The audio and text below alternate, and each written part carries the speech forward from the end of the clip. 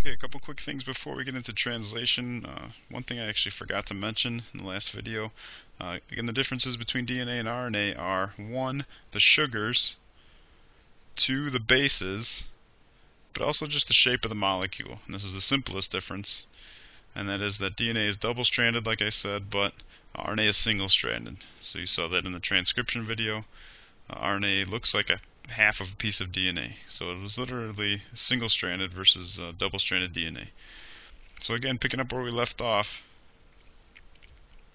RNA is made during transcription.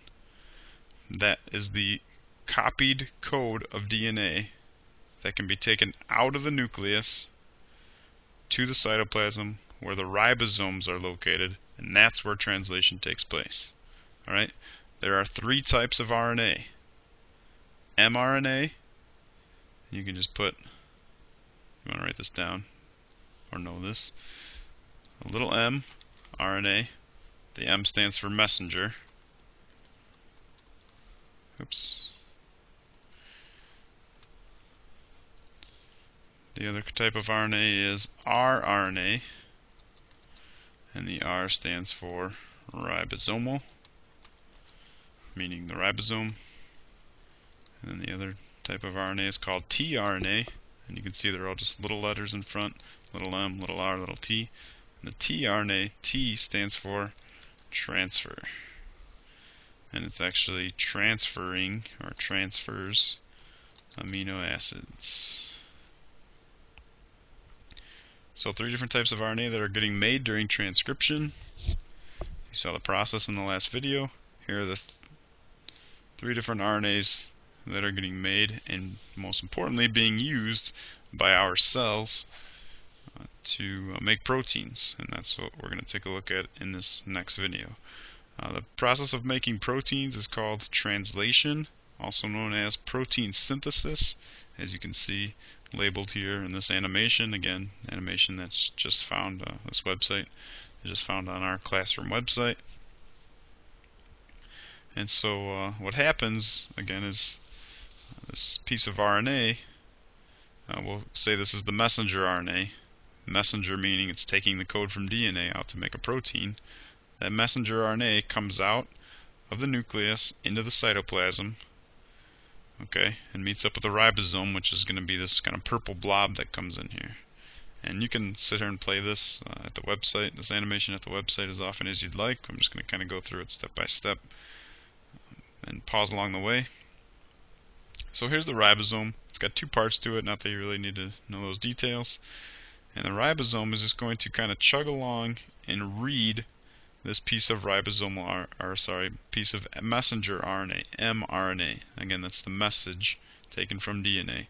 Uh, this ribosome is actually made of RNA as well, but to show a bunch of letters squiggled up in here and make a big mess out of this animation, so to simplify it, it's just kind of this big purple blob, kind of looks like a nose and mitten. I think people often say it kind of looks like a mitten.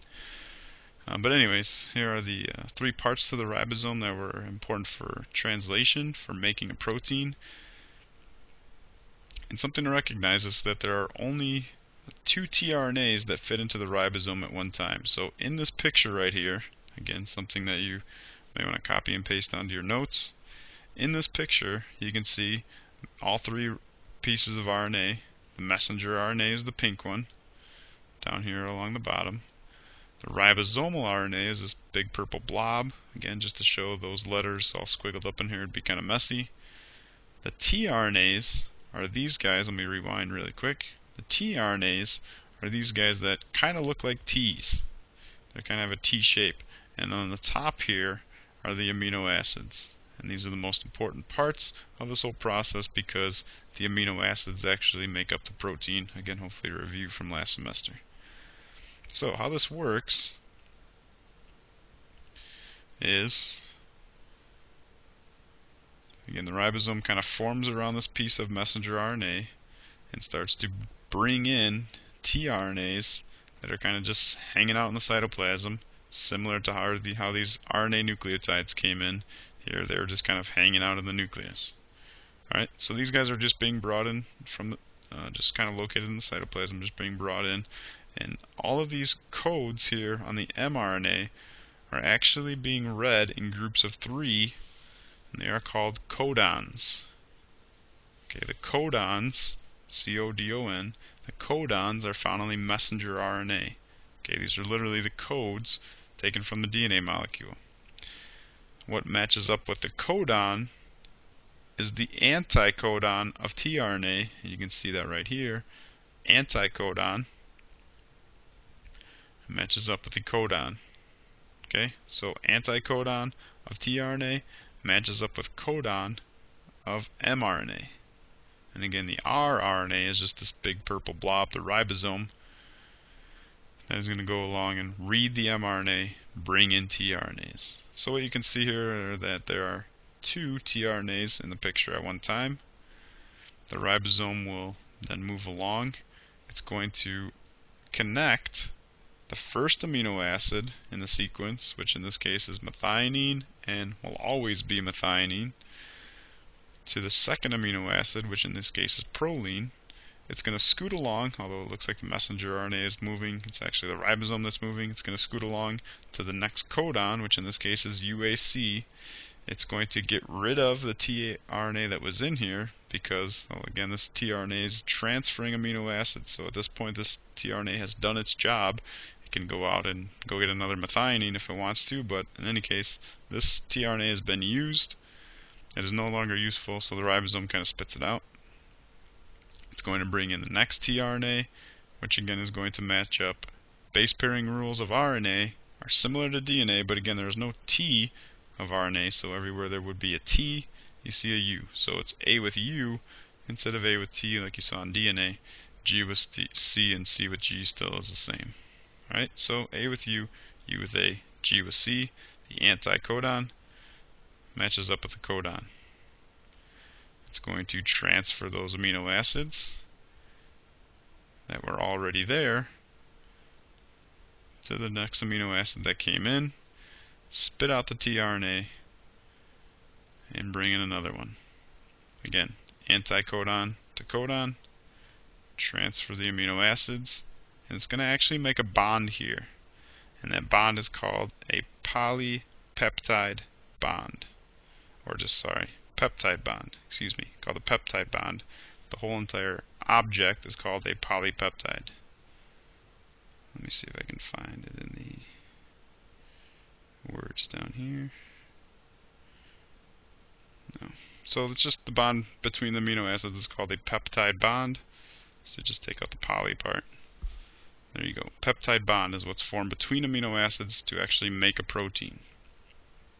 Alright, so another amino acid comes in connected to its transfer RNA. Poly polypeptide is getting longer. The protein is getting, it's eventually going to be a protein. Protein is getting longer. And just keeps bringing in new tRNAs, matching up anticodon to codon, putting the amino acids together by peptide bonds, and spitting out tRNAs on the back end. What you'll notice here is called a stop codon. There are a few of these codons known as stop codons, which tells the ribosome literally to stop adding, do not add anything here, break apart, and now this sequence of amino acids that just got made, hopefully correctly, is going to go off and take a really weird folded up squiggly shape similar to dropping a like wet spaghetti noodle on the floor and just letting it dry. Okay, it takes this like really weird squiggled up shape. That shape is whatever protein uh, that protein is supposed to be.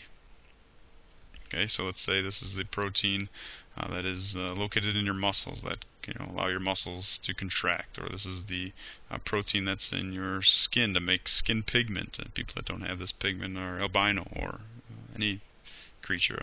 Sometimes you see snakes, rats, mice that are albino. They don't make pigment. Or this is a protein that is in charge of transporting across the cell membrane. Okay, and if that uh, protein does not get made correctly, then some substances are not transported correctly across the cell membrane, which obviously could be a huge deal when it comes to the uh, homeostasis of some certain cell, whatever the cell that is. Okay, so all these amino acids that got kind of put together, a big long chain, are make, going to eventually fold into a protein. And to kind of give you an idea what I'm talking about, let me just quickly go to Wikipedia, and you can see what I mean by Uh, literally, a protein's shape is just kind of a really squiggled up mess. Okay, so here to give you an idea of uh, some protein. I don't even know what this is, doesn't matter. Oh, heme group, so, oh, that's just the green part. But anyways, you can see this is just a bunch of amino acids that are all twisted up. Okay, big long chain of amino acids that are all twisted up. They form, take their shape, and then that protein is whatever it is and does whatever it's supposed to do. The problem here, when we start talking about mutations uh, in the next section, is that if the wrong amino acid gets brought in, then this amino acid sequence is not right. If the amino acid sequence isn't right, then the protein doesn't get made correctly. If the protein doesn't get made correctly, it does not do its job correctly or does not function at all, which again could be big problems for the cell when you talk about things like the cell cycle. The cell cycle is regulated by proteins that say, okay, check, DNA was copied, safe to go into mitosis. Mitosis begins, okay, DNA is lined up correctly, the uh, chromosomes are lined up correctly, safe to divide them. If those proteins aren't working correctly during the cell cycle, that's where cancerous cells form. So when you talk about proteins not getting made correctly because perhaps the uh, codon was incorrect or the wrong tRNA was brought in, okay, if the wrong amino acid gets placed here, it's supposed to be maybe another proline, and instead it brings in ASP, which I believe is maybe aspartic acid. If the wrong amino acid gets brought in here, then the protein is not made correctly, or possibly not made correctly. And that's when you get to mutations, which we'll cover in the next video. So this just quickly goes through maybe more uh, realistic speed, the ribosome forming, bringing in tRNAs, spitting out tRNAs after they've transferred their amino acid, and then getting to a stop codon, which exactly that is just stops stops adding tRNAs, stops linking together amino acids. That protein is as big as it's going to be, and realistically there are probably thousands or tens of thousands of these amino acids, but for the sake of simplicity for this animation, you see only about a dozen or so. And then that protein, or sorry, amino acid chain will go off, fold into a very specific shape, and become a protein that is supposed to do whatever that protein's job is.